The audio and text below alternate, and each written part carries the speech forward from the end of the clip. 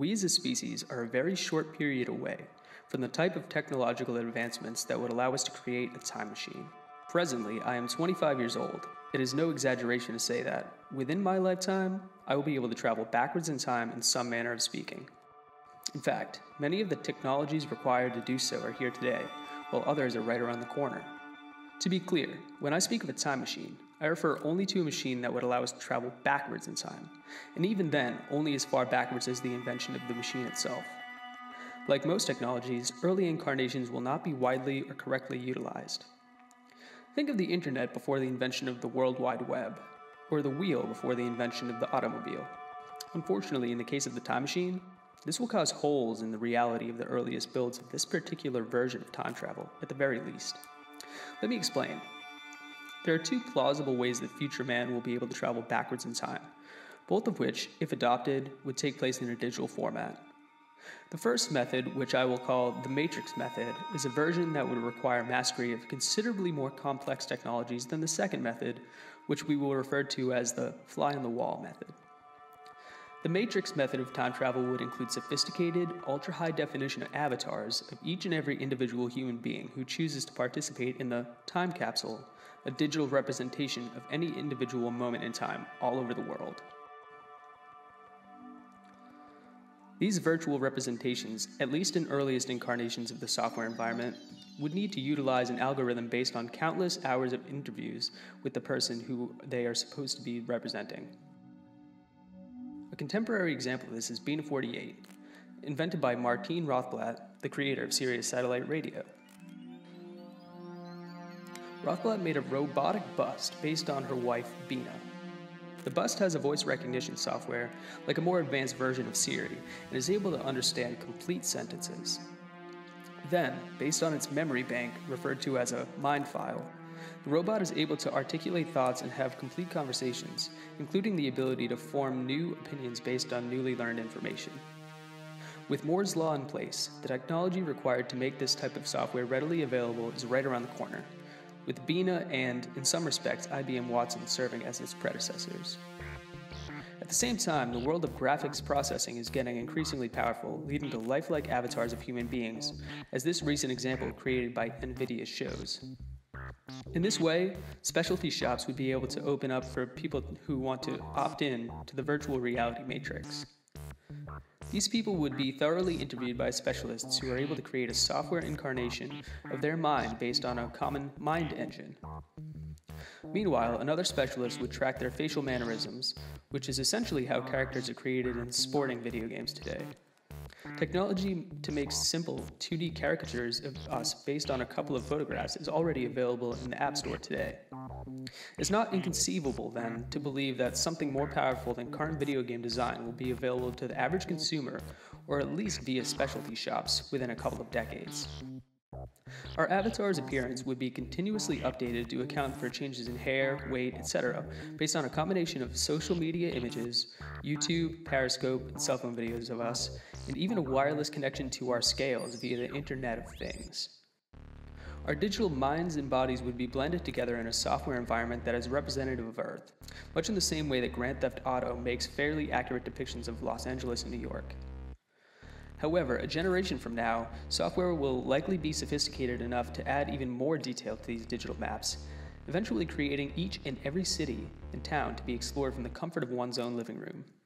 Then, those who opt into the Matrix would collectively have their smartphone GPS locations recorded and synced virtually based on time and date with those of people surrounding them, so that if someone wishes to travel back in time to, say, Friday, April 3rd, 2020, at Mass General Hospital, in any given room of the maternity ward, they would be able to see rather accurately a software depiction of a mother, a father, a grandmother, a doctor, a nurse, and so forth based on the people who were truthfully in that room at that time. In fact, our social media profiles leading up to, during, and after an event can essentially help us to understand how a particular person was feeling about a particular event.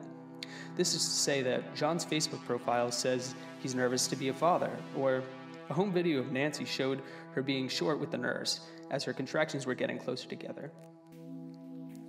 These things will be recognized by social media spiders of sorts who would crawl almost instantaneously to the time period surrounding the event which you wish to travel back to, and incorporate those emotions into the mind file of the avatar in question, making for a more complete simulation of that moment in their life. The main drawback to the Matrix method of time travel is that, because it is a software representation of you, it is not the real you.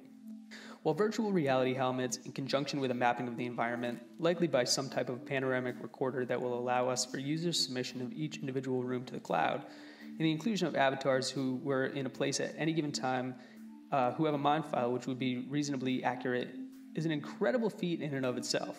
A really close representation of you is still not the same as the real you. This is related to the uncanny valley issue currently plaguing software developers they're trying to make a resemblance to human beings so uncanny it is to be indistinguishable from true human beings. Unfortunately, all attempts at creating such a representation, as of now, have come up short. In addition to this issue, the number of servers, or at least the amount of digital space required for such a project, is above and beyond what is currently believed to be possible. The amount of memory required to run numerous characters, complete with thoughts, body language, and facial mannerisms, as well as accurately digitally mapping an entire scene alone, would require memory and processing power currently beyond the capability of any consumer computer. Now imagine numerous people trying to access that same digital Earth server from all over the world. Instead, a large array of servers, some mapping cities, others storing mind files, and still others holding avatars to correspond with those mind files would likely be required. The second method, too, would require a lot of storage for the amount of files required to render a representation of Earth.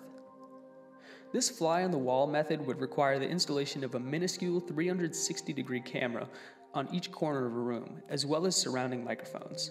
These cameras would be eternally broadcasting whatever occurs in said room. Then, utilizing an automated real time video stitching technology like Colorize, a visual and audible depiction of any room or nearly any place can be created to view on a technology like Google Cardboard or the Oculus Rift. When someone chooses to travel backwards in time to, say, Jake's Christmas Party 2025, they'll be able to see exactly what went on in that room.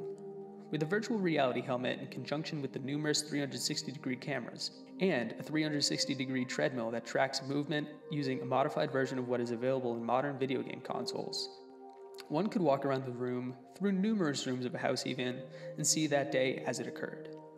The main drawback here is that they would not be able to interact with the people, only to witness what happened at the event. Another issue here is that many people behave differently when they're on camera. Certainly, if filming your reality becomes commonplace in our society, as it appears evident that it will, people will be rather used to being on camera as we move further and further away from the world of privacy that we also intimately cherish. As a part of growing used to being on camera constantly, people will likely become more comfortable on camera, and the reality we witness on these broadcasts will become as authentic as the one we are presently living in. However, the amount of hard drive space required to stitch videos from four corners of any given room with three to six lenses per camera, responsible for the 360 degree capability, and 4K, or most likely even a higher quality technology for each of the cameras, and then saving it for use in a software environment almost definitely would be a huge hurdle. Accessing that through the cloud as well would be difficult because of the sheer size of the file. However, this is something that will likely be resolved with the high speed internet heading our way in the form of 5G, which is supposed to vastly exceed the speed of even Fios. Finally, the problem is that setting up of cameras and audio recording equipment would be completely voluntary and likely would lack widespread adoption, except by those interested in sharing their events for future generations. It is very possible, though, that people will be able to attend a concert of a 21st century band or the inauguration of a 22nd century politician hundreds and hundreds of years into the future if the technology at least becomes adopted in a way akin to television. With these 360 degree cameras replacing or being used in conjunction with contemporary cameras to film important sociocultural events. In the same way, future versions of television could become practically interactive with the placement of cameras for a VR audience. These two could be held as a part of our history in the digital time machine. Imagine, for instance, being able to travel back in time and sitting in the living room of Jerry Seinfeld as Kramer enters the room, or watching from across the couch at the Central Perk on Friends. Future generations will be able to live inside of their favorite sitcoms, even if only for a moment. Ultimately, as more and more cameras find their way into our world, at stoplights, in parking garages, and numerous security cameras, 360 degree viewership of entire states can become possible if widespread implementation were to take place. I've created this video for one reason to plant the seed of innovation. Any group of people knowledgeable in the aforementioned fields could band together and literally create a way for us to witness times past the birth of your first child, your favorite band's biggest concert, or even being able to visit that deceased grandmother again. The implications of this technology are huge. While the majority of the technology necessary to create this exists, they are, for the most part, in their infancy. Computer hardware, even, is in its infancy if we look at the grand scheme of the existence of humanity. I know that this goal can be achieved, and it starts with us. Let's build this thing.